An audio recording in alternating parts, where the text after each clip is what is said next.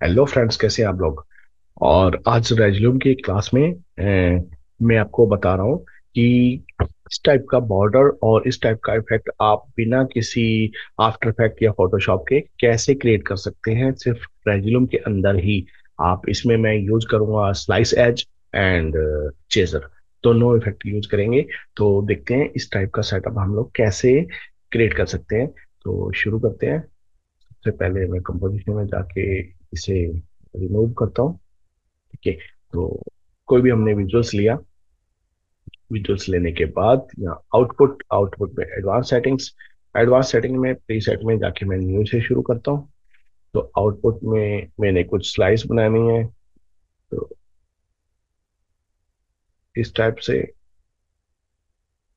ठीक है? इसको डुप्लीकेट किया। मेरी ये दो स्लाइस बन गई इसे हल्का सा इस साइड निकाल लेते हैं। ठीक है इसे डुप्लीकेट किया। डुप्लीकेट करके इसे साइड में यहाँ ले रहा हूँ। इसे मैं थोड़ा छोटा करता हूँ। और इसे डुप्लीकेट किया। सेम मेरी स्लाइस इस साइड आ गई। इसे डुप्लीकेट किया। यहाँ। साइज़ थोड़ा छोटा करते हैं। देन इसको डुप्लीकेट किया। यहाँ अभी इसके डुप्लीकेट स्लाइस और बनाते हैं। यहाँ के लिए इसे मैं और छोटा कर देता हूँ।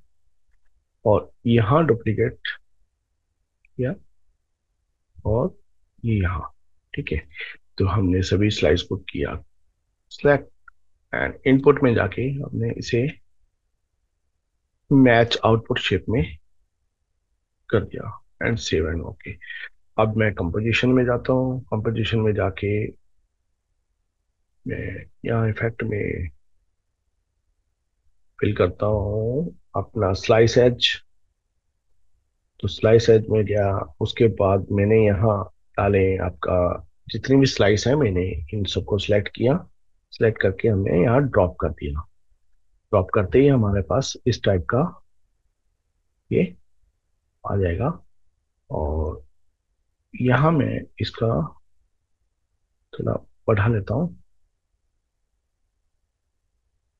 ऑफसेट इस, यहाँ से हम लोग जितना इसको बढ़ाना चाहें हमारे जो बॉर्डर का साइज़ है, बढ़ा सकते हैं। और सेकंड यहाँ अप एंड डाउन पे कीजिए और उसके बाद यहाँ आप बॉर्डर के कलर को भी चेंज कर सकते हैं कि आपको कौन सा कलर चाहिए। ठीक है? यहाँ से आप इसकी स्पीड को कम ज़्यादा कर सकते हैं।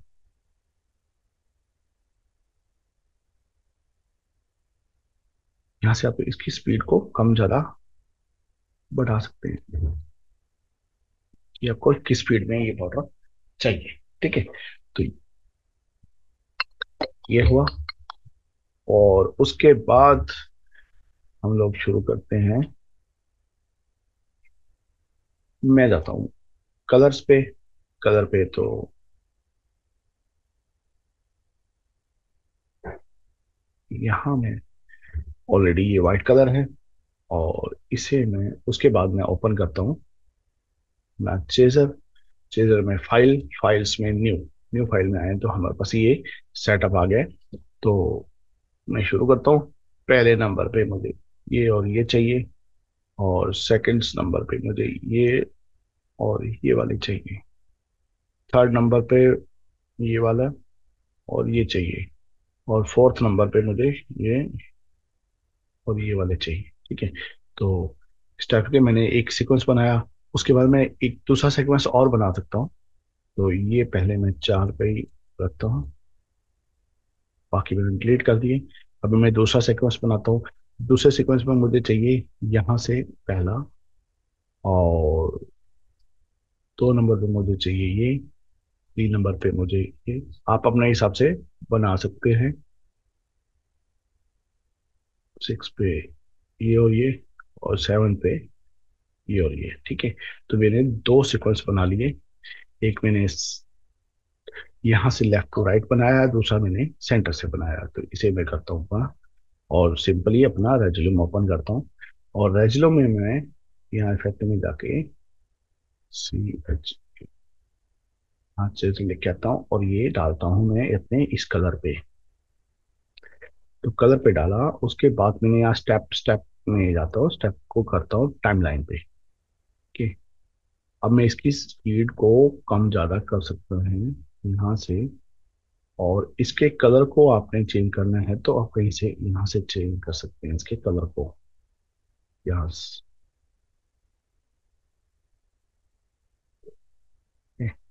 आप इसकी स्पीड को यहाँ से और बढ़ा सकते हैं, इस टाइप से। ओके और यहाँ मैंने सीक्वेंस वन किया, और जैसे ही मैं सीक्वेंस टू करता हूँ तो मेरा ये ये देखिए, बदल गया है। लेफ़्ट टू राइट को जा रहा है। और जैसे ही मैंने सीक्वेंस वन किया तो ये इस टाइप से आ रहा है सेंटर से निकल के आ रहा है, ठीक है? तो आप इसमें काफ़ी सीक्वेंस बना सकते हैं। आप दस, बारह, पंद्रह सीक्वेंस बना के रखिए और ये इस टाइप का सेटअप तो वीडियो अच्छी लगी हो तो लाइक शेयर एंड सब्सक्राइब करें और बने रहें ऐसे ही वीडियो के लिए। तब तक के लिए बाय बाय